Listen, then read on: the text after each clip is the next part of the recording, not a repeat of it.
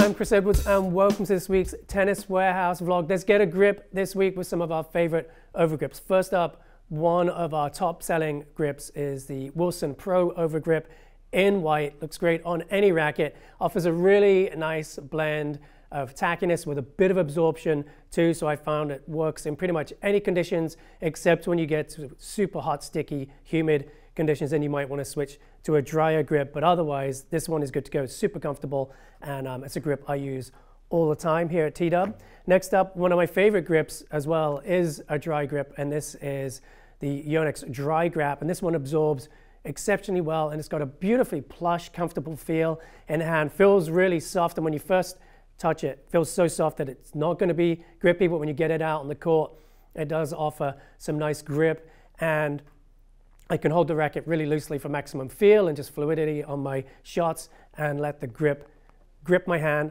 so I don't have to grip it too hard and tense up on my shot. So I really like that one. Next up, we've got a really nice grip if you like a thinner grip, so you want to be able to feel the bevels of the racket. And this is the Babolat Pro Tour 2.0. And again, nice blend of uh, tack and absorption out of this one. And that nice thin, lightweight feel on the handle really lets you feel the bevels of the racket and really dial in the position of the head um, through the handle feel you get right there. And then next up, we've got Head Prime Tour. This one comes in a ton of different colors, really fun grip. And again, it offers that nice blend of absorption and a bit of tackiness as well. Grabbed it in this teal color right here, which looks great on the booms, but also works great, I think, on any kind of black dominant colored racket. That's gonna look sharp there and check the website for more colors on that one. Again, super comfortable, nice grip. Next, we got one of the blue grips that does not slip. It's Tourna. Um, so like Tourna Grip Original, this one's Tourna Tuff. It's a newer blend of the original Tourna Grip, and it's designed just to be a bit more durable. It offers a very, very similar feel to. There is a, a, a very slight feel between this and Tourna Grip Original, but I find this one does last longer. Um, also feels a little bit nicer in the hand, uh, getting more towards the dry grip feel, that softer feel than Tourna Grip Original, which is a very dry grip.